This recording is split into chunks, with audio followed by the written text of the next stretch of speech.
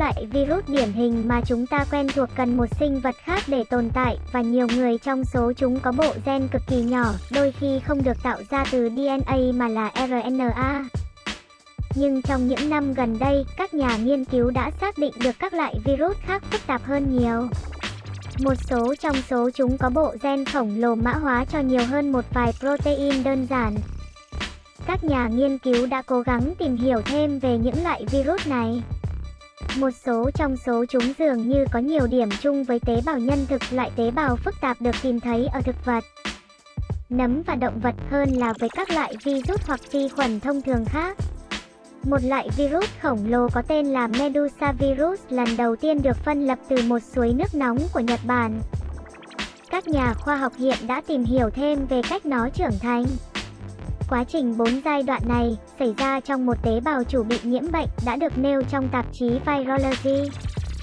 Các nhà nghiên cứu nhận thấy rằng quá trình sao chép và bộ gen khác với quá trình sao chép của các loại virus khác từ góc độ tiến hóa, khiến nó cực kỳ thú vị, đồng trưởng nhóm nghiên cứu. Giáo sư Masaharu Takemura thuộc Đại học Khoa học Tokyo cho biết, Thật thú vị, Medusa virus cũng có một cấu trúc hạt độc đáo.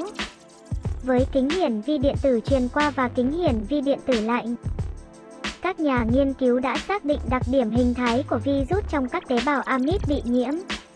Điều này cho thấy bốn loại Medusa virus trong và ngoài tế bào chủ được phân loại là giả DNA rỗng, DNA rỗng.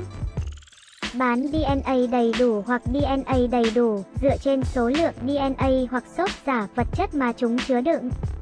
Các nhà nghiên cứu cũng đánh giá sự biểu hiện của gen tại các thời điểm khác nhau. Điều này cho thấy rằng virus có 4 giai đoạn trưởng thành. Medusa virus khác với các virus khác một phần vì nó tạo ra vỏ virus hoặc capside bên trong tế bào chất của tế bào vật chủ bị nhiễm và DNA của virus được sao chép trong nhân. Chỉ những capside rỗng ở gần nhân mới có thể thu nhận DNA của virus để trở thành các phần tử S full hoặc DNA đầy đủ trong khi cả bốn loại Medusa virus đều có cấu trúc bên ngoài và các size tương tự nhau. Các hạt pmt và mt có màng mở ở một đầu, trong khi các hạt S full và full có màng bên trong hoàn chỉnh khép kín. Các nhà nghiên cứu cho rằng các màng chưa hoàn thiện là dấu hiệu cho thấy các phần tử virus chưa trưởng thành và các khoảng trống có khả năng được sử dụng để trao đổi DNA và protein cần thiết cho sự trưởng thành của Medusa virus và biến mất khi virus đạt đến giai đoạn cuối.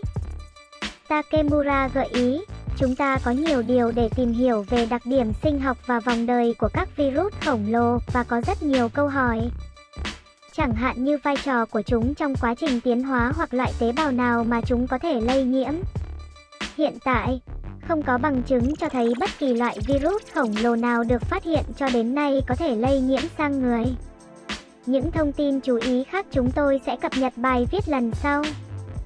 Rất mong sự ủng hộ của các bạn, chúc các bạn vui vẻ. Xin chào, chia sẻ hữu ích nhé.